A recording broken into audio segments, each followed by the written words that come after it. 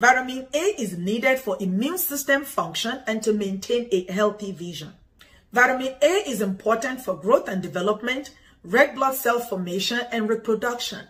It also helps in the maintenance of healthy skin and mucous membranes. Where do we get vitamin A? You can get vitamin A from animal sources like beef and chicken liver, eggs and dairy products, plant sources like carrots, sweet potatoes, mangoes, and spinach.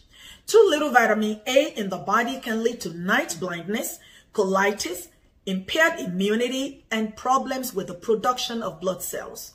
Too much vitamin A can happen when someone overuses the supplement, and it can lead to headache, blurred vision, and liver damage. Too much vitamin A in a pregnant woman can cause congenital abnormalities. It can also lead to growth retardation in the fetus. This is Nurse Mo from Rophem NCLEX Academy.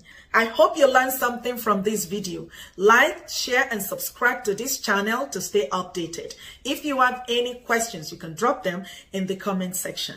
See you next time.